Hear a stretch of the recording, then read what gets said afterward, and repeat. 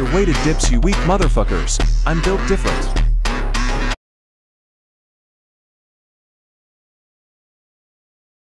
Tag a 19 year old below doing a 200 kilograms deadlift, you weak motherfuckers. I just love the smell of fear. I'm loading up my clip. Yeah.